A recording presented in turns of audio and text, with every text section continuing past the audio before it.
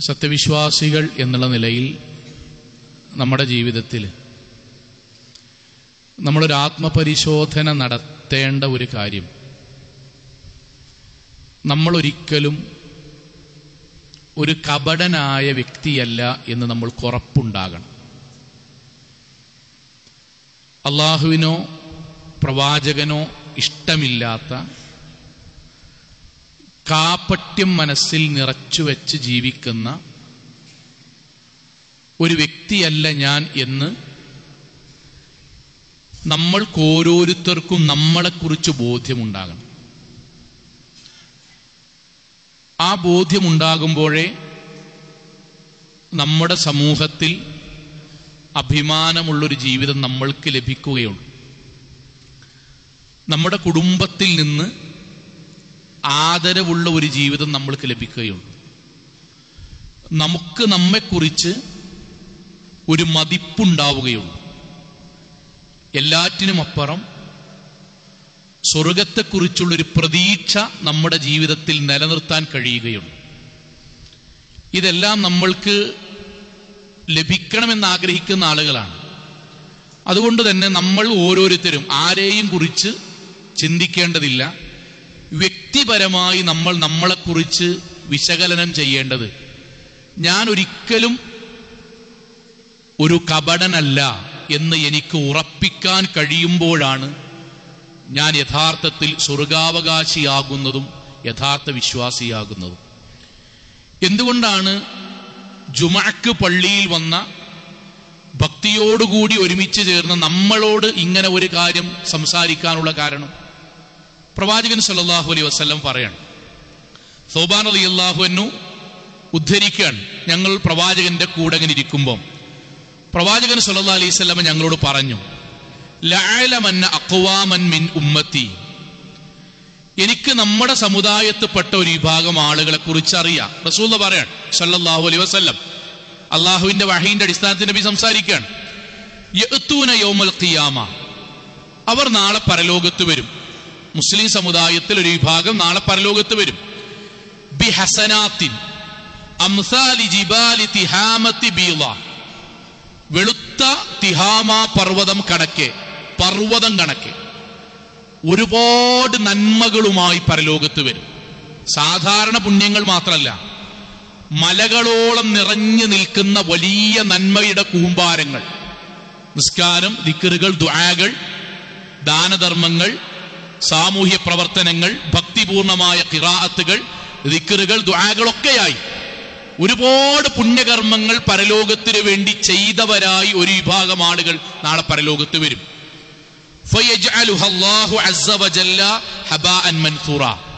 പക്ഷെ അള്ളാഹു ആ കൂമ്പാരമായി പർവതം കണക്കെയുള്ള നന്മകളെയെല്ലാം അള്ളാഹു വിതറപ്പെട്ട ധൂളികളെ പോലെ പടച്ചതമ്പുരാൻ നശിപ്പിച്ച് കളയും. ഒരൊറ്റ ഇബാദത്ത് പോലും അവർക്ക് ഗുണകരമാവുകയില്ല. അള്ളാഹു അവരിൽ നിന്ന് സ്വീകരിക്കൂല. ഉടനെ സൗബാൻ അലി അള്ളാഹു എന്നു പ്രവാചകനോട് ചോദിക്കുകയാണ് യാ റസൂലുള്ള സിഫും ലന ജലഹിം ലന. പ്രവാചകരെ അവരെ കുറിച്ച് ഞങ്ങൾക്കൊന്ന് പറഞ്ഞു തരി ഒന്ന് വിശേഷിപ്പിച്ചു തരി വ്യക്തമാക്കി തരി. എന്തിനാണ്? അല്ലാ നക്കൂനമിൻഹും വനഹനുലാന അലം ഞങ്ങൾ അറിയാതെ പോലും അവരുടെ കൂട്ടത്ത് പെടാതിരിക്കാനും അത് ഞങ്ങളുടെ കൂട്ടത്തിൽ പെട്ട ആളാണോ എന്നൊക്കെ ഒന്ന് തിരിച്ചറിയാൻ അവരെ കുറിച്ചൊന്ന് പറഞ്ഞു തരും.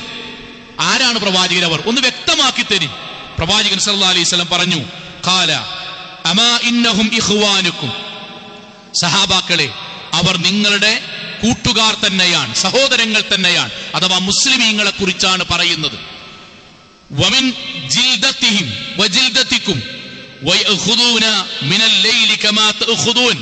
അവർ നിങ്ങളുടെ വർഗത്തിൽപ്പെട്ടവർ തന്നെയാണ്. മുസ്ലിമീങ്ങളിൽപ്പെട്ടവർ തന്നെയാണ്. അവരുടെ ഒന്നാമത്തെ പ്രത്യേകത അവർ പകൽ സമയത്ത് സഹാബാക്കളെ നിങ്ങളെ ചെയ്യുന്നത് പോലെ എല്ലാ സൽക്കർമ്മങ്ങളും അവർ ചെയ്യും. എല്ലാ പുണ്യകർമ്മങ്ങളും അവർ ചെയ്യും. പകലിൽ അവർ എന്തൊക്കെയുണ്ടോ ആളുകൾ കൂടുന്നിടത്ത് എന്തൊക്കെയുണ്ടോ ആ പുണ്യകർമ്മങ്ങളെല്ലാം അവർ ചെയ്യും. പക്ഷെ വലാക്കിന്നഹും അക്വാമുൻ എന്നാൽ അവർ ഒറ്റക്കാകുന്ന സമയത്ത് അള്ളാഹു നിരോധിച്ച കാര്യങ്ങളെല്ലാം അവർ ഇതേപോലെ സജീവമായി ചെയ്യുകയും ചെയ്യും. പ്രവാചകൻ സല്ലല്ലാഹു അലൈഹി വസല്ലമ ഒരു വലിയ ജനവിഭാഗത്തെ മുസ്ലിം സമുദായത്തിൽപ്പെട്ട ജനവിഭാഗത്തെ പരലോകത്ത് അമലുകളുമായി വന്ന് അള്ളാഹു പരിഗണിക്കുക പോലും ചെയ്യാത്ത ഒരു വിഭാഗത്തെ പറ്റി സഹാബാക്കൾക്ക് പറഞ്ഞെടുക്കാൻ എന്താണ് അവരുടെ പ്രത്യേകത? അവർ നമസ്കരിക്കുന്നു ദിക്കറുകൾ ദുആകൾ ചെയ്യുന്നു ദാനധർമ്മങ്ങളൊക്കെ ചെയ്യുന്നു വലിയ പുണ്യമാണ്. പക്ഷേ അവർ ഒറ്റക്കാകുന്ന വേളയിൽ അവർ അള്ളാഹു നിരോധിച്ച ഹറാമുകളും ഇതേ നന്മയുടെ കൂടെ അവർ വ്യക്തിപരമായി സ്വകാര്യത ജീവിതത്തിൽ ഹറാമുകൾ ചെയ്ത് ജീവിക്കുന്നവരുമാണ് എന്ന് പ്രവാചകൻ പറയാൻ സഹോദരങ്ങളെ ഈ ഒരൊറ്റ വാചനമാണ് നമ്മൾ നമ്മളെ കുറിച്ച് ആലോചിക്കേണ്ടത് നമ്മൾ അള്ളാഹുവിന്റെ മുന്നിൽ കപടനായിട്ട് അള്ളാഹു രേഖപ്പെടുത്തുന്ന ആളാകുമോ? അല്ല പരലോക വിശ്വാസം ഉറച്ച ഒരാളായി അള്ളാഹു നമ്മെ രേഖപ്പെടുത്തുമോ? ഒരു കാര്യം നമ്മൾ ഉറപ്പാണ് അതെന്താണ്? നമ്മുടെ സ്വർഗ നരകങ്ങൾ തീരുമാനിക്കുന്നതിലെ ഏറ്റവും പ്രധാനപ്പെട്ട ഭാഗം നമ്മുടെ രഹസ്യ ജീവിതം തന്നെയാണ്. കാരണം പരസ്യം നമ്മൾക്ക് എളുപ്പമാണ് പരസ്യം നമ്മൾക്ക് നന്നാക്കുവാൻ എളുപ്പമാണ്. ഒരുപാട് സ്വാധീനങ്ങളുണ്ട് പക്ഷെ രഹസ്യ ജീവിതം പരസ്യത്തെ പോലെ നിർമ്മലമാകുവാൻ ശുദ്ധമാകുവാൻ ഭയഭക്തി പൂർണമാവുകാൻ അള്ളാഹുവിനോടുള്ള അചഞ്ചലമായ തക്കുവയും വിശ്വാസവും രൂഢമൂലമാകണം. അതുകൊണ്ടാണ് പരിശുദ്ധ ഖുർആൻ അള്ളാഹുവിനെ കുറിച്ചുള്ള വിശ്വാസം പറയുന്നിടത്ത് നമ്മളോട് എന്താ പറഞ്ഞറിയോ വഹുവ മഴക്കും. നമ്മുടെ ഹൃദയത്തിൽ ഉണ്ടാകണം. അള്ളാഹു നമ്മുടെ കൂടെയുണ്ട്. ഐനമാ കുൻതും. നമ്മൾ എങ്ങോട്ട് പോയാലും നമ്മൾ എവിടേക്ക് പോയാലും നമ്മൾ ആളുകളിൽ നിന്ന് മാറി നിന്നാലും നമ്മൾ കടകളുടെ പിൻഭാഗത്തേക്ക് പോയാലും നമ്മുടെ ഗ്രൗണ്ടുകളുടെ ബേക്ക് ഭാഗത്തേക്ക് പോയാലും നമ്മളുടെ ഗ്യാങ്ങിലേക്ക് നമ്മൾ പോയാലും ഈ നാട് വിട്ടു പോയാലും അള്ളാഹു നമ്മുടെ കൂടെയുണ്ട്. മാതാപിതാക്കൾ ഉണ്ടാകണമെന്നില്ല മഹല്ല് ഭാരവാഹികൾ ഉണ്ടാകണമെന്നില്ല മൗലൈമാർ കാണണമെന്നില്ല ഭാര്യയോ ഭർത്താവോ മക്കളോ നമ്മൾ അറിയണമെന്ന് പോലുമില്ല. പക്ഷെ അള്ളാഹു കൂടെയുണ്ട്. ഐനമാക്കുൻതും നമ്മൾ എങ്ങോട്ട് പോയാലും എവിടേക്ക് നമ്മൾ സഞ്ചരിച്ചാലും നമ്മുടെ കണ്ണിന്റെ കട്ടുനോട്ടം പോലും ഹൃദയത്തിന്റെ ചിന്ത പോലും അറിയുന്ന നാഥൻ നമ്മുടെ കൂടെയുണ്ട് എന്ന ബോധ്യമാണ് തക്കവയുടെ അടിസ്ഥാനം. ആ അടിസ്ഥാനത്തിൽ നിന്ന് ഒരു വിശ്വാസി ജീവിക്കുന്ന ജീവിതമാണ് ഭക്തിപൂർണമായ ജീവിതം കപടതയില്ലാത്ത ജീവിതം എന്ന് പറയുന്നത്. അത് നമ്മൾക്കുണ്ടാകണം. അത് നമ്മൾക്കുണ്ടാകണം. ഇസ്ലാമിക ചരിത്രത്തിൽ നമ്മൾക്കറിയാവുന്ന എത്രയോ സംഭവമുണ്ട്. അറിയുന്ന രണ്ട് സംഭവങ്ങൾ മാത്രം പറയാം. സുപരിചിതമായി അറിയുന്ന സംഭവം. മഹാനായ ഉമർ ഖത്താബ് അലി അള്ളാഹുവിന്റെ കാലഘട്ടത്ത് അദ്ദേഹം വേഷപ്രച്ഛന്നനായി സഞ്ചരിക്കുന്ന സമയത്ത് പാലിൽ വെള്ളം ചേർക്കാൻ വേണ്ടി പറയുന്ന ഉമ്മയോട് ആ കുട്ടി ആ പെൺകുട്ടി തിരിച്ചു പറയുന്ന ഒരു വാക്കില്ലേ ഉമ്മ ചേർക്കാൻ പാടില്ല എന്ന് നിയമല്ലേ? ചേർക്കാൻ പാടില്ല എന്നത് നിയമല്ലേ? അതിന് ഉമ്മയുടെ മറുപടി മോളെ അത്യാവശ്യമായത് കൊണ്ടല്ലേ? അമീർ റുക്മിനിൽ കാണുന്നില്ലല്ലോ. അതിന് മകളുടെ മറുപടിയല്ലേ പ്രധാനം? ഉമ്മയോട് മകളുടെ മറുപടി ഇതാക്കാൻ അമീർ അമീർ കാണുന്നില്ലല്ലോ. ചിലപ്പോ ഉണ്ടാവൂല പക്ഷെ അള്ളാഹു കാണുമല്ലോ. ഉമ്മ ആരും അറിയാതെ ഈ കൂരാക്കൂരിട്ടിൽ ഈ വീടിന്റെ അകത്ത് നമ്മൾ പാലിൽ വെള്ളം ചേർക്കുന്നത് ലോകത്തൊരാളും അറിയണമെന്നില്ല ഉമ്മ. ലാഭം കിട്ടിയേക്കാം പക്ഷേ അല്ല കാണുന്നില്ലേ ഉമ്മ? ഇതാണ് സഹോദരങ്ങളുടെ ഭക്തി.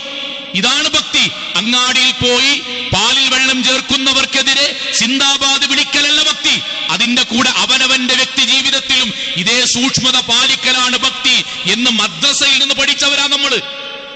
അതേ അമീർ ഉൽമിനീൻ ഉമർ ഖത്താബ് അലി അള്ളാഹു അൻഹു. ആളുകളെ ഇതുപോലെ പരീക്ഷിക്കുവാൻ വേണ്ടി സുഖവിവരങ്ങൾ അറിയാൻ വേണ്ടി പോകുന്നതിനിടയിലാണ് ചെറിയൊരു പിഞ്ചു ബാലൻ നമ്മുടെ മക്കളുടെ അത്രയും പ്രായമുള്ള ബാലൻ ആടുകളെ മേച്ചുകൊണ്ടിരിക്കുന്നത് കണ്ടത്. അദ്ദേഹം അമീർ ഉൽമിനീൻ ആ കുട്ടിയെ പരീക്ഷിക്കുവാനാണ് ചോദിച്ചത് മോനെ ഇതിൽ നിന്ന് ഒരു ആടിനെ എനിക്ക് തരുമോ? ആ കുട്ടിയുടെ മറുപടി അമീ ഏ, ഏ, അമീർ ഉൽമീനാണെന്ന് അറിയില്ല. നോക്കൂ ഇക്ക ഇതെന്റെ ആടല്ല. ഇതെന്റെ ആടല്ല. അതുകൊണ്ട് എനിക്ക് തരാൻ പാടില്ല. ഉൽമീൻ അങ്ങോട്ട് പറഞ്ഞു എടാ നല്ല വില തരാം. പിന്നെ ഒരാട് ഇത്രയും ആടുകൾക്കിടയിൽ നിന്ന് ഒരാട് നഷ്ടപ്പെട്ടു എന്നതുകൊണ്ട് യജമാനൻ നിന്നെ തിരിച്ചറിയണമെന്നില്ല. അതിനാ കുട്ടിയുടെ മറുപടി യജമാനനെ എനിക്ക് പറ്റിക്കാം. ഒരു പ്രശ്നവുമില്ല. നിങ്ങൾ തരുന്ന പണം എനിക്ക് അത്യാവശ്യവുമാണ്. ഞാനത് വാങ്ങാം. പക്ഷേ ഇക്ക ഒരു ചോദ്യത്തിന്റെ ഉത്തരം നിങ്ങൾ പറയണം. എങ്കിൽ അല്ല എവിടെയാണ്? ഇതാണ് ഭക്തി. ആളുകളെ എനിക്ക് പറ്റിക്കാൻ കഴിയും. ഒരു പ്രശ്നമല്ല യജമാനനെ പറ്റിക്കാൻ കഴിയും.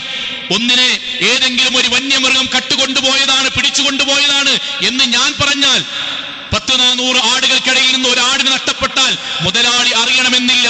അറിഞ്ഞാൽ തന്നെ എനിക്ക് എന്റെ വാചക കസർത്തുകൊണ്ട് അദ്ദേഹത്തെ ബോധ്യപ്പെടുത്താനും കഴിയും. പക്ഷെ അള്ളാഹുവിനെ മറച്ചു വെക്കാൻ കഴിയില്ലല്ലോ. ഈ ഭക്തിയാണ് സഹോദരങ്ങളെ വിശ്വാസികൾ എന്നുള്ള നിലയിൽ നമ്മുടെ ഹൃദയത്തിലേക്ക് വരേണ്ടത്. അതുകൊണ്ടാണ് ഖുർആൻ പറഞ്ഞത് ഇന്നല്ലദീന റബ്ബഹും ലഹും കരീം. വിശ്വാസികൾ ആരാണ്? യഥാർത്ഥ വിശ്വാസികൾ ആരാണ്? അവർ അള്ളാഹുവിനെ വൈബിൽ വിശ്വസിക്കുന്നവരാണ്. അങ്ങാടിയിൽ വിശ്വസിക്കുന്ന അതേ അള്ളാഹുവിൽ സ്വകാര്യ ജീവിതത്തിലും വിശ്വസിക്കുന്നവരാണ്. കുടുംബത്തിന്റെ കൂടെ ഏതൊരു അള്ളാഹുവിനെയാണോ ഞാൻ വിശ്വസിക്കുന്നത് അതേ അള്ളാഹുവിനെ കുടുംബമില്ലാതെ ഒറ്റയ്ക്ക് പോകുമ്പോഴും വിശ്വസിക്കുന്നവരാണ്. എന്റെ ചങ്ങാതിമാരുടെയും മഹല്ലുകാരുടെയും ഇടയിൽ വെച്ച് ഞാൻ ഏതൊരു പരലോകത്തിലാണോ വിശ്വസിക്കുന്നത് അതേ പരലോകത്തിൽ തന്നെയാണ് ഞാൻ എന്റെ സ്റ്റാഫിന്റെ കൂടെ ഒറ്റയ്ക്ക് യാത്ര ചെയ്യുമ്പോഴും അവരുടെ കൂടെ മാത്രം ഞാൻ യാത്ര പോകുമ്പോഴും അതേ പരലോകത്തിൽ വിശ്വസിക്കുന്നവരാണ്. അവർക്കാണ് അള്ളാഹുവിൽ അങ്ങേയറ്റം പ്രതിഫലവും അള്ളാഹുവിൽ നിന്നുള്ള പാപമോചനവും ഉള്ളത് സഹോദരങ്ങളെ ഇവിടെ ചില പിഴവുകൾ വന്നുകൊണ്ടിരിക്കുന്നു. പ്രവാചകർ പറഞ്ഞ അതേ സമുദായത്തിൽ അതേ വിഭാഗത്തിൽ നമ്മൾ അറിഞ്ഞോ അറിയാതെയോ ഉൾപ്പെടുന്നുണ്ടോ എന്ന് നമ്മൾ നമ്മളോട് ചോദിക്കേണ്ട ചോദ്യമാണ്. പ്രവാചകന്റെ വാക്കെന്താ അറിയോ തെജിദൂന മിൻ ശിറാരിന്നാസ്. ജനങ്ങളിൽ അള്ളാഹ്ക്ക് ഏറ്റവും വെറുക്കപ്പെട്ട ചില ആളുകൾ നിങ്ങൾക്ക് അറിയുമോ സഹാബാക്കൾ ചോദിച്ചു നബിയെ ജനങ്ങളുടെ കൂട്ടത്തിൽ അള്ളാഹ് ഏറ്റവും വെറുത്ത ആളുകൾ ആരാണ്? പ്രവാചകന്റെ വാക്ക്. രണ്ട് മുഖമുള്ള ആളുകളാണ്. എന്താണ് ആ രണ്ട് മുഖം? എന്താണ് ആ രണ്ട് മുഖം? അവർ കുടുംബത്തിലൊരു മുഖവും കുടുംബം വിട്ടാൽ മറ്റൊരു മുഖവുമാണ്. മഹലിലൊരു മുഖവും മഹൽ വിട്ടാൽ മറ്റൊരു മുഖവുമാണ്. അങ്ങാടിയിൽ ഒരു മുഖവും അങ്ങാടി വിട്ടാൽ മറ്റൊരു മുഖവുമാണ്. നാട്ടിലൊരു മുഖവും നാട് വിട്ടാൽ മറ്റൊരു മുഖവുമാണ്. സംഘടനയിലും പ്രസ്ഥാനത്തിലും ധീരിന്റെ കാര്യത്തിലും കമ്മിറ്റികളിലും ഒരു മുഖം അത് വിട്ടാൽ മറ്റൊരു മേഖലയിൽ വേറൊരു മുഖവുമാണ്. അള്ളാഹുവിന് ഏറ്റവും വെറുപ്പുള്ള വിഭാഗം ആ വിഭാഗമാണ്. കാരണം അവിടെ ഹൃദയത്തിൽ വിശ്വാസത്തിലും സ്വഭാവത്തിലും നിഫാക്ക് കടന്നു വന്നവരാണവർ സഹോദരങ്ങളെ നമ്മൾ നമ്മളെയാണ്. ഒരാളെയും നമ്മൾ മനസ്സിലേക്ക് കൊണ്ടുവരേണ്ടതില്ല. ഞാൻ എന്നെയാണ് ആലോചിക്കേണ്ടത്. ഇതിൽ ഞാൻ ഉൾപ്പെടുമോ? ഇതിൽ ഞാൻ ഉൾപ്പെടുമോ? നമ്മുടെ നാട്ടിൽ നിന്ന് ഏതെങ്കിലും നമ്മുടെ ജീവിതത്തിൽ ഇവിടെ നിന്ന് മറ്റൊരു പ്രദേശത്തേക്ക് നമ്മൾ പോയാൽ ടൂർ പോവുകയാകാം ബിസിനസ് ട്രിപ്പാകാം കൂട്ടുകാരുടെ കൂടെയാകാം ഒറ്റക്കാകാം മറ്റൊരു നാട്ടിലേക്ക് എത്തിയാൽ എത്രയോ മനുഷ്യർ അതുവരെ ജീവിതത്തിൽ കാത്തു സൂക്ഷിച്ചിരുന്ന ഭക്തി മുഴുവൻ ആ ഒരു പത്ത് ദിവസത്തെ യാത്രയിൽ മുഴുവൻ കളഞ്ഞു കുളിച്ച് അവിടെ പോയി ലഹരി ഉപയോഗിക്കുന്നവരുണ്ട്. വാതിലുകൾ ഏതെങ്കിലും റൂമുകളെടുത്ത് ആളുകളെ ആരും അറിയാത്ത രൂപത്തിൽ ഒന്നോ രണ്ടോ ആളുകളെ മാത്രം കൂട്ടി അവിടെ വെച്ച് ആരും അറിയാതെ മദ്യപിക്കുന്നവർ പണം കൊടുത്ത് വ്യഭിചരിക്കുന്നവർ അവിടെയുള്ള ക്ലബ്ബുകളിൽ പോകുന്നവർ പോകുന്നവർ അവിടെയുള്ള സകല തോന്നിവാസികങ്ങളിലും പങ്കെടുക്കുന്ന ആളുകൾ ചൂതാട്ട കേന്ദ്രത്തിൽ പോകുന്ന ആളുകൾ വരെ മുസ്ലിം സമുദായത്തിൽ നമസ്കരിക്കുന്ന നോമ്പ് തോൽക്കുന്ന ആളുകൾ നാട് വിട്ടാൽ ചെയ്യുന്നു എന്നത് രഹസ്യമല്ലാത്ത പരസ്യമാണ്. നമ്മൾ അതിൽ ഉണ്ടാകാൻ പാടില്ല ഉറപ്പായിട്ടും പാടില്ല. നമ്മുടെ ജീവിതത്തിലെ ഭക്തി ഏതെങ്കിലും ഒരു യാത്ര ചെയ്യുമ്പോഴേക്കും നഷ്ടപ്പെട്ടു പോകുന്ന ഒരു അവസ്ഥ ഉണ്ടാകരുത് ഇവിടെ നിന്ന് ചുരം കയറുമ്പോഴേക്കും ഇവിടെ നിന്ന് ഗോവയ്ക്ക് പോകുമ്പോഴേക്കും ഇവിടെ നിന്ന് ഇന്ത്യ വിട്ട് പുറത്തേക്ക് പോകുമ്പോഴേക്കും അവിടെ എത്തി ആരും കാണാത്ത പ്രദേശമാണ് എന്ന് മനസ്സിലാക്കിയാൽ അപ്പോഴേക്കും ജീവിതത്തിൽ അള്ളാഹുവിനോടുള്ള ഭക്തി നഷ്ടപ്പെടുത്തി ശൈത്വാനീയത്ത് ഹൃദയത്തിൽ നിന്ന് വന്നാൽ അതിനർത്ഥം നമ്മുടെ പരലോക വിശ്വാസം ഉറച്ചിട്ടില്ല എന്നു തന്നെയാണ്. യാതൊരു സംശയവുമില്ല. ഏതെങ്കിലും കൂടെ പഠിച്ച പഴയ കൂട്ടുകാർ ഒന്നിച്ചു വല്ല ഗെറ്റ് നടത്തി അവിടെ ഒന്നിച്ചു കൂടുകയാണെങ്കിൽ അതിനിടയിൽ നിസ്കാരത്തെ പറ്റി ചർച്ചല്ല കാരണം എന്താണ് അവിടെ എത്തിയാൽ പിന്നെ നിസ്കരിക്കുന്ന ആളാകാൻ പാടില്ല. നമ്മുടെ ഏതെങ്കിലും ഒരു ഗ്യാങ്ങിൽ പെട്ടാൽ നമ്മുടെ കൂട്ടുകെട്ടിന്റെ ഒരു വൈബിൽ പെട്ടാൽ പിന്നെ നമ്മൾക്ക് ദീനുമായി ബന്ധപ്പെട്ട യാതൊരു കാര്യവും പറയാൻ പാടില്ല. കാരണം അവിടെ ഞാൻ ദീനിയായ ഒരാളാകാൻ പാടില്ല. നിസ്കാരം പോയാൽ എനിക്ക് പ്രശ്നമല്ല. അവിടെയുള്ള ആളുകളുടെ കൂട്ടത്തിൽ കൂടി ഏതെങ്കിലും തോന്നിവാസങ്ങൾ ഞാൻ പെട്ടാൽ എനിക്ക് പ്രശ്നമല്ല. അവിടെയുള്ള ഹറാമുകൾ ഞാൻ പെട്ടാൽ പ്രശ്നമല്ല. തോന്നിവാസ കേന്ദ്രങ്ങളിലേക്ക് മസാജ് കേന്ദ്രങ്ങളിലേക്ക് വരെ നിസ്കരിക്കുകയും നോമ്പ് നോക്കുകയും ചെയ്യുന്ന ആളുകൾ യുവാക്കളല്ലാത്തവർ പോലും പോകുന്ന കാഴ്ചകൾ ഇന്ന് കണ്ടുകൊണ്ടിരിക്കുന്നു. മാറണം. കാരണം അള്ളാഹുവിന്റെ പ്രവാചകർ സല്ലാഹു അലൈഹി വസ്ലമേ പഠിപ്പിച്ച ആശയങ്ങളിൽ നിന്ന് സഹാബാക്കൾ ചോദിക്കുന്ന ചില ചോദ്യമുണ്ട്. എന്താ ചോദ്യം അറിയോ? അൻ തകൂന അദുവൽ ഇബ്ലീസ് ഫിൽ ഫി സിർ. എടാ ആളുകളുടെ മുന്നിൽ വെച്ച് നീ ഷെയ്ത്താന്റെ ഭയങ്കര ശത്രുവാണ്. എന്നാൽ രഹസ്യ ജീവിതത്തിൽ നീ ഷെയ്ത്താന്റെ കൂട്ടുകാരനുമാണ്. അത് നീ ശ്രദ്ധിക്കണം കേട്ടോ. കഴിഞ്ഞില്ല.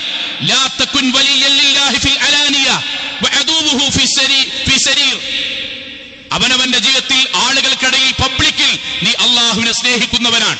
എന്നാൽ രഹസ്യ ജീവിതത്തിൽ നീ പടച്ചവനെ വെറുക്കുന്നവനുമാകുന്നത് നീ ശ്രദ്ധിക്കണം. എന്താ ചോളാ പറഞ്ഞതിന്റെ അർത്ഥം?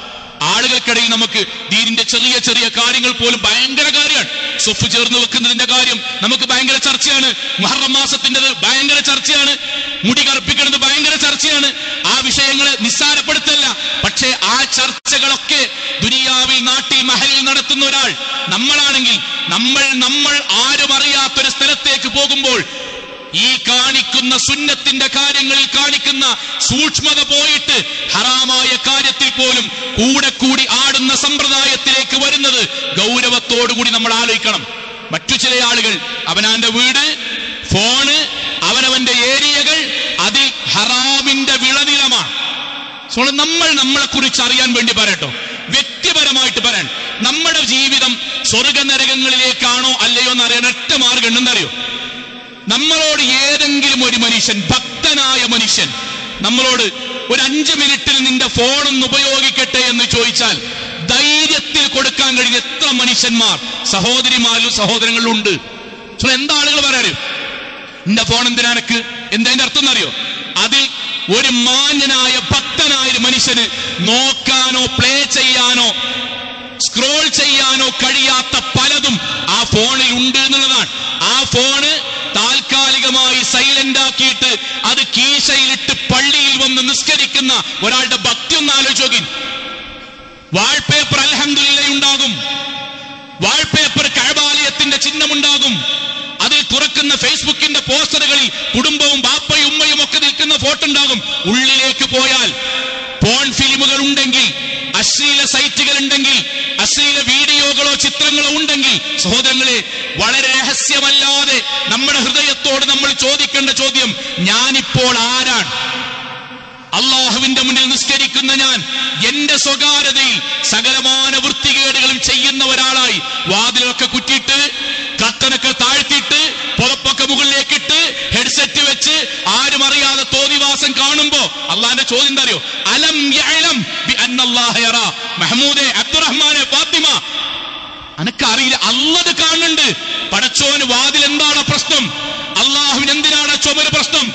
അള്ളാഹുവിന് എന്ത് കത്തനാണ് പ്രശ്നം? ബാപ്പാനും ഇമ്മാനും ചതിച്ച് ബാത്റൂമിന്റെ ഉള്ളിൽ കയറി തുറന്നിട്ട് ശബ്ദമുണ്ടാക്കി രഹസ്യമായി ഏതെങ്കിലും ഒരാളോട് കിഞ്ചന വർത്തമാനങ്ങൾ പറയുന്നത് അള്ളാഹു അറിയുന്നുണ്ട്.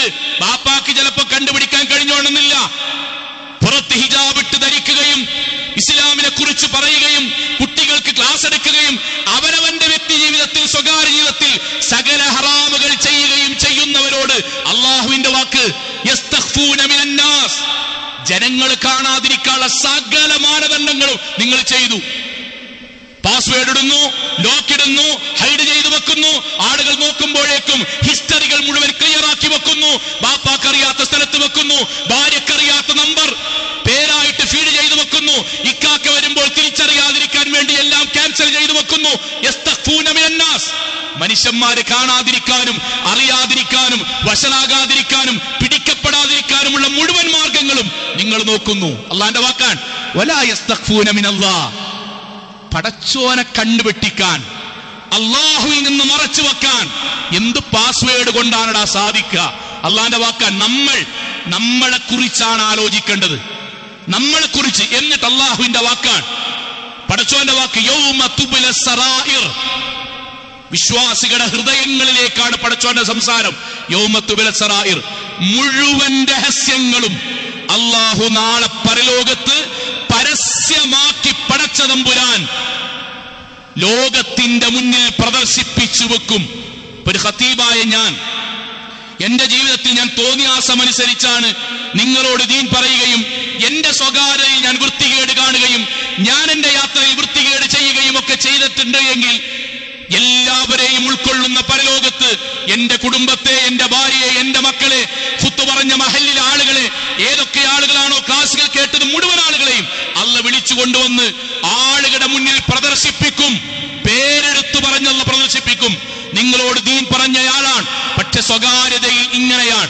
ഇതുപോലെ നമ്മളെയും ഭാര്യയെയും ബാപ്പയെയും ഉമ്മയെയും മക്കളുടെയും മുന്നിൽ വെച്ച് നമ്മുടെ സ്വകാര്യതയിൽ കണ്ടതും കേട്ടതും ചെയ്തതും വാട്സപ്പുകൾ വഴിയോ ലിങ്കുകൾ വഴിയോ ഓൺലൈൻ വഴിയോ തോന്നിവാസങ്ങളും നട്ടപ്പാതിരക്കാരും അറിയാതെ കണ്ടുവെച്ചതുമായ മുഴുവൻ കാര്യങ്ങളും തൗബ ചെയ്ത് മടങ്ങിയിട്ടില്ല എങ്കിൽ അല്ല പബ്ലിക്കായി പ്രദർശിപ്പിച്ചിട്ടാണ് ചോദ്യം ചെയ്യൽ ആരംഭിക്കുക. നമ്മുടെ ഹൃദയത്തിൽ ഉണ്ടാകണം സോളെ അവിടെ നിന്ന് മാറാൻ നമുക്ക് കഴിയണം അവിടെ നിന്ന് നമുക്ക് മാറാൻ കഴിയണം പ്രവാചകർ സല്ലല്ലാഹു അലൈഹി വസല്ലമ സഹാബാക്കളെ പഠിപ്പിച്ച കാര്യങ്ങളിൽ അവർ നമ്മളോട് ചോദിക്കുന്ന പറയുന്ന ഒന്ന് രണ്ട് വാക്കുണ്ട്. അക്സറുൽ ഖാസിരീൻ. ഏറ്റവും വലിയ നട്ടം പറ്റിയ ആൾക്കാർ ആരാന്നറിയോ? മൻ ജനങ്ങൾക്കിടയിൽ എല്ലാ സൽക്കർമ്മത്തിലും മുന്നിലുണ്ടാവും. നമ്മളെ കുറിച്ചാ പറയണത്? അത് വേണം. അലഹമില്ല നല്ലതാണ്. പക്ഷേ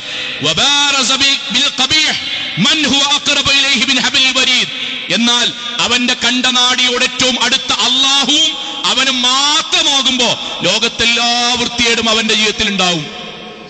അവനെക്കാളും മോശപ്പെട്ടവൻ ഇനി ദുനിയാവിലില്ല ഭാര്യമാര് ഭർത്താക്കന്മാരുടെ ഫോൺ വെച്ച ഭർത്താക്കന്മാര് അനക്കെന്തിനാ എന്റെ ഫോണ്?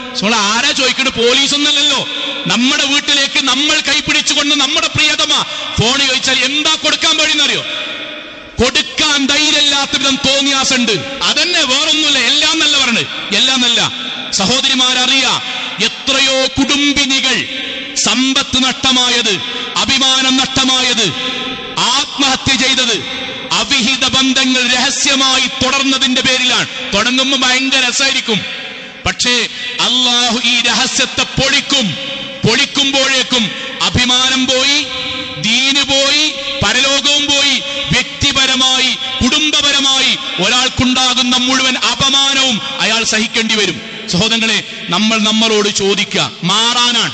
ഞാൻ അങ്ങാടിയിലുള്ള മുഹമ്മദാണോ? ഫാത്തിമയാണോ? ആയിഷയാണോ? എന്റെ വീട്ടിലും എന്റെ കുടുംബത്തിലും എന്റെ സ്വകാര്യതയിലും.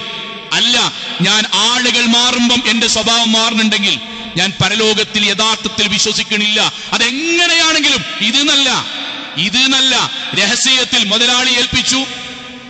പൈസ കൊണ്ടുപോകാൻ ഏൽപ്പിച്ചു. ആ പൈസ ആരും അറിയാതെ മെല്ലെ പൈസ ചാമ്പി വേറെ ഏതെങ്കിലും റെസിപ്റ്റ് ഉണ്ടാക്കി കൊടുത്ത് അങ്ങനെ കട്ടെടുക്കണോനും അങ്ങനെ കട്ടെടുക്കണോനും വീട്ടിൽ നിന്ന് സ്ഥാപനത്തിലേക്ക് ഹിജാബ് ധരിച്ചു പോയി അവിടെ എത്തി വേറെ ഡ്രസ്സ് മാറി നടക്കുന്ന പെൺകുട്ടിയാകട്ടെ ടീച്ചർമാരാകട്ടെ ഉദ്യോഗസ്ഥന്മാരാകട്ടെ അവരാകട്ടെ ആരുമാകട്ടെ. സ്വന്തം നാട്ടിൽ ദീനിന്റെ എല്ലാ കാര്യങ്ങളിലും ഇസ്ലാമിക വേഷം ധരിച്ച് ഇവിടെ നിന്ന് പുറത്തുപോയി ഒരു കല്യാണത്തിൽ പങ്കെടുക്കുമ്പോൾ ഈ ദീനിന്റെ നേരെ ഓപ്പോസിറ്റായി അവനവന്റെ വേഷവിധാനം സംവിധാനിക്കുന്ന ആളുകളാകട്ടെ എല്ലാവരും രഹസ്യ ജീവിതത്തിൽ പടച്ചോനെ സൂക്ഷിക്കാത്തവരാണ്. അവിടെയാണ് പ്രവാചകൻ പറഞ്ഞത് മലകളോളം സൽക്കർമ്മങ്ങളുമായിട്ട് അവർ വരും. പക്ഷേ പരലോകത്ത് അല്ലാഹു അവിടെ മുഴുവൻ പുണ്യകർമ്മങ്ങളെയും വിതറപ്പെട്ട ധൂളികളെ പോലെ പടച്ചോൻ പറപ്പിക്കും. എന്തേ കാരണം? അവർ രണ്ട് മുഖമുള്ളവരാണ്. അവരെ പടച്ചോൻ ഇഷ്ടല്ല. നമ്മൾ നമ്മളോട് ആലോചിക്കുക. ഒരൊറ്റ വാചകം പറഞ്ഞ് അവസാനിപ്പിക്കാൻ. ഓരോരുത്തരും നമ്മൾ നമ്മളിലേക്ക് ചുരുങ്ങണം എന്ന് പറയാൻ വേണ്ടിയാണ്. പ്രവാചകൻ വസല്ലമ സഹാബാക്കളോട് പറഞ്ഞു ഇതാ അൽ അലാനിയ ഒരാളുടെ രഹസ്യ ജീവിതവും പരസ്യ ജീവിതവും ഒരേപോലെയാണെങ്കിൽ അത് നീതിയാണ്. ഒരാൾ രണ്ട് ഭാഗത്ത് ഒരേപോലെയാണ്. എങ്കിൽ നീതിയാണ്. വഇദാ ഇത് ക്കാളും രഹസ്യ ജീവിതം നല്ലതാണെങ്കിൽ അത് ഏറ്റവും ഉത്തമമാണ്. എന്നാൽ ഒരാളുടെ രഹസ്യ ജീവിതം ആ രഹസ്യ ജീവിതം പരസ്യത്തേതിനേക്കാൾ മോശമാണെങ്കിൽ ആളുകളുടെ മുന്നിൽ നല്ലവൻ ആളുകളുടെ മുന്നിൽ നിസ്കാരക്കാരൻ ആളുകളുടെ മുന്നിൽ ഭക്തൻ ആളുകളുടെ മുന്നിൽ ദീനിന്റെ ആൾ സ്വകാര്യതയിലും കൂട്ടുകാർക്കും യാത്ര പോകുമ്പോഴും അവനവന്റെ ലോകത്തുമെത്തുമ്പോൾ താൻ തോന്നിത്തങ്ങളും തോന്നിവാസങ്ങളും രഹസ്യത്തിൽ ഹറാമുകളും കാണുന്ന ഒരാളാണെങ്കിൽ. അത് അക്രമമാണ്. അത് ചെയ്യുന്നവൻ അള്ളാഹുവിന്റെ മുന്നിൽ അക്രമിയുമാണ്. അള്ളാഹു നമ്മെ കാത്തുരക്ഷിക്കുമാറാകട്ടെ. നമ്മൾ ഈ പറഞ്ഞ കാര്യം ഞാൻ ആവർത്തിച്ച് ആവർത്തിച്ച് പറയുന്ന ഒരൊറ്റ ഭാഗമാണ്. ആരെയും നമ്മൾ മനസ്സിലേക്ക് കൊണ്ടുവരണ്ട. ഞാൻ അങ്ങനെയാണോ എന്ന് എന്നെ പരിശോധിച്ചാൽ ഞാൻ മാറണമോ എന്നെനിക്ക് ബോധ്യമാകും എന്റെ ഫോണും എന്റെ റൂമും എനിക്കെതിരെ പരലോകത്ത് വരും എന്ന് ബോധ്യമുണ്ടായാൽ പിന്നെ എന്റെ റൂമുക്ക് ഒരാൾ എന്താ എന്നോട് ചോദിക്കാതെ റൂമുക്ക് പത്തണിക്ക് വരുന്നത് എന്ന് ഞാൻ എന്തുകൊണ്ടാ പറഞ്ഞറിയോ? എനിക്ക് പേടിയാണ്. എനിക്ക് പേടിയാണ്. എന്റെ മക്കൾ എന്റെ റൂമുക്ക് വന്നിട്ട് കർട്ടൻ ഉയർത്തിയാൽ പേഴ്സ് എടുത്താൽ അതിൽ മക്കൾ കാണാൻ പറ്റാത്ത എന്തോ ഉണ്ട് അതൊരു വിശ്വാസിയുടെ ജീവിതത്തിൽ ഉണ്ടാകാൻ പാടില്ല. അള്ളിയും റസൂലും നിരോധിച്ച സമയങ്ങളിലുള്ള കാര്യത്തെ പറ്റി അല്ലട്ടോ പറഞ്ഞത്. ഒരു വാപ്പാക്കോ ഒരു ഉമ്മാക്കോ ഒരു മകന്റെ റൂമിലേക്ക് വന്നിന് മകന് പേടി എന്താണ്? ഒരു ഭർത്താവിന്റെ പേഴ്സും ഫോണും അവർ അദ്ദേഹത്തിന്റെ ഡ്രസ്സും ഒരു ഭാര്യ അദ്ദേഹത്തോട് ഇക്ക ഞാൻ എടുക്കണ്ടിട്ടോ? എന്ന് അദ്ദേഹത്തോട് പറഞ്ഞിട്ട് എടുക്കണീന്. എന്തിനാണ് ഒരു ഭർത്താവ് പേടിക്കണത്? ഒരു ഭാര്യയോട് ആരാണടി വിളിക്കണമെന്ന് ചോദിക്കുന്നത് എന്തിനാണ് ഒരു ഭാര്യ അസ്വസ്ഥപ്പെടുന്നത്? നമ്മൾ നമ്മളോട് ചോദിക്കുക അതിനൊക്കെ ഒരു ഉത്തരവുള്ളൂ. ആളുകളുടെ മുന്നിൽ നമ്മൾ എത്രയൊക്കെ വാശിയും ദേഷ്യവും ഒക്കെ പറഞ്ഞാലും അതിനൊരു ഉത്തരമുണ്ട് എന്താ അറിയോ? പലരും അറിയാത്ത പലതും. പലരോടും പറയാത്ത ചിലതും. ആരാരും അറിയാത്ത പല കാര്യങ്ങളും എന്റെ സ്വകാര്യതയിൽ ഹറാമായി ഞാൻ കൂടെ കൊണ്ടു നടക്കുന്നു എന്നാണ്. അതുകൊണ്ടാണ് നമുക്ക് മരിക്കാനും പേടി. അതുകൊണ്ടാണ് നമുക്ക് റൂമിൽ കയറുന്നത് പേടി. അതുകൊണ്ടാണ് ഒരു മൂലിയാർ ഫോൺ ചോദിക്കുന്നത് പേടി. അതുകൊണ്ടാണ് മക്കൾ വന്നിട്ട് റൂമിൽ കയറുന്ന ഒക്കെ നമുക്ക് പേടി. നമ്മൾ മക്കളുടെ മുന്നിലുള്ള വാപ്പയല്ല മക്കൾ പോയാലുള്ള വാപ്പ. അങ്ങനെയാണെങ്കിൽ അങ്ങനെയാണെങ്കിൽ നമ്മൾ ശ്രദ്ധിക്കണം. അത് കപടതയാണ്. ആ കപടതയെ പ്രവാചകൻ പറഞ്ഞത് ലോകത്തല്ലാക്ക് ഏറ്റവും വെറുക്കപ്പെട്ട മനുഷ്യൻ അവനാണ് എന്നാണ്. അതിൽ നമ്മൾ ഉണ്ടാകാൻ പാടില്ല. ഒരിക്കലും ഖുർആാനിന്റെ രായ എത്രമാത്രം നമ്മളോട് സല്ല നേർക്കുനേരെ സംസാരിക്കുന്ന പോലെയാണ്. കുൽ പ്രവാചകരെ പറഞ്ഞൊടുക്കും മനുഷ്യന്മാർക്ക്. നമ്മളോട് അല്ല പറയാണ് പറഞ്ഞു കൊടുക്കും. ഇൻ തുഹ്ഫു മാ ഫീ സുദൂരിക്കും മനസ്സിൽ നിങ്ങൾ എന്തൊക്കെ ആരും അറിയാതെ നമ്മളോട് പറയാൻ നിങ്ങൾ എന്തൊക്കെ കൊണ്ടുവന്ന് നടന്നാലും ആളുകളുടെ മുന്നിൽ നിങ്ങൾ എത്ര രഹസ്യമാക്കിയാലും പരസ്യം എന്ത് ചെയ്താലും അള്ളാഹു അറിയും. അല്ല തന്ന കണ്ണല്ലേ? അല്ല തന്ന ചെവിയല്ലേ? അല്ല തന്ന നാവല്ലേ? അല്ല തന്ന ശരീരല്ലേ? ഈ ശരീരം വെച്ചിട്ടല്ലേ തോന്നിയാസങ്ങളും ഹറാമുകളും ജീവിതത്തിൽ ചെയ്യണത്? പടച്ചോൻ അറിയില്ലേ? വാതിൽ കുറ്റിട്ടോണ്ടോ? പാസ്വേഡ് ഇട്ടോണ്ടോ? ആൾക്കാരെ പറഞ്ഞയച്ചോണ്ടോ? രണ്ടാൾക്കാരെ കാവലുത്തിയതുകൊണ്ടോ ഇവിടുന്ന് ടിക്കറ്റ് എടുത്ത് വേറെ നാട്ടിക്ക് പോയതുകൊണ്ടോ? ഇവിടുന്ന് ഗുണ്ടിൽപേട്ടേക്ക് പോയതുകൊണ്ടോ? അള്ളാഹുവിനെന്താണ് അള്ളാഹുവിനെന്താണ് പടച്ചോൻ അറിയൂലേ? ആ കാര്യം നമ്മുടെ ഹൃദയത്തിലേക്ക് നമ്മൾ കൊണ്ടുവരണ്ടേ?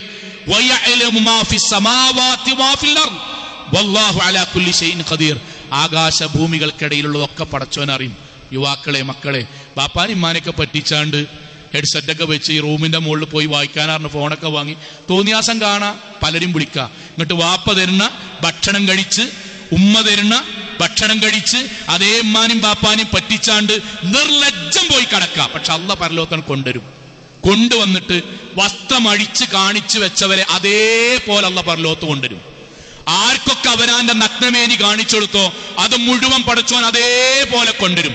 ആരൊക്കെ പാതിരാവി അവനവന്റെ കുടുംബത്തെ ചതിച്ച് മറ്റു വീടുകളിലേക്ക് കയറിയോ അതുപോലെ പടച്ചവൻ കൊണ്ടുവരും. തൗപ ചെയ്യാതെ മരിച്ചിട്ടുണ്ടെങ്കിൽ. സോളെ നമ്മൾ മടങ്ങണം. എന്നിട്ട് നമ്മുടെ ഇഖ്ലാസ് നമ്മുടെ ഭക്തി അള്ളാഹുവിനോട് നമ്മൾക്ക് ബോധ്യപ്പെടുത്താൻ കഴിയണം. നമ്മൾ തീരുമാനിക്കണം. പടച്ചോനെ ഇനി എന്റെ രഹസ്യ ജീവിതത്തിൽ നിനക്കിഷ്ടല്ലാത്തൊന്നും ഞാൻ ചെയ്യൂല. ധീരമായ തീരുമാനമാണ്.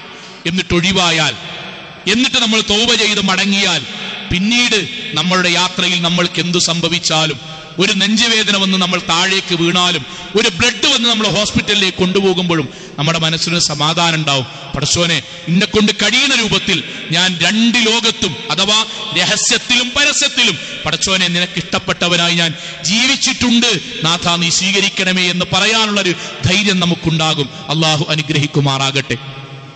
നമ്മുടെ ജീവിതത്തിൽ വന്നുപോയ ചെറുതും വലുതുമായ മുഴുവൻ തെറ്റുകുറ്റങ്ങളും റഹ്മാനായ നാഥ നീ ഞങ്ങൾക്ക് വിട്ടുപുറത്ത് മാപ്പാക്കി തരണമേ റഹ്മാനെ.